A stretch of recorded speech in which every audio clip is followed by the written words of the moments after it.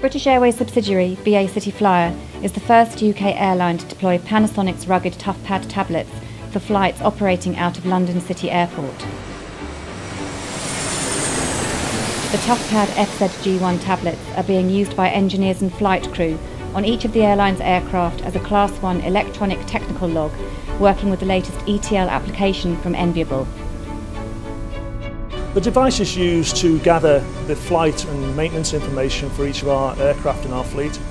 But it provides more accurate and, and, and real-time information to our, to our maintenance teams.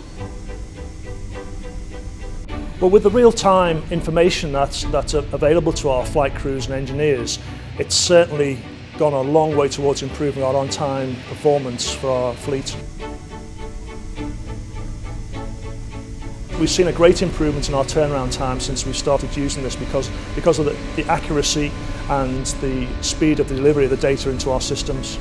This benefits our business, but more importantly improves the service we offer our customers. It is no doubt a contributing factor to the airline's improvement in on-time performance.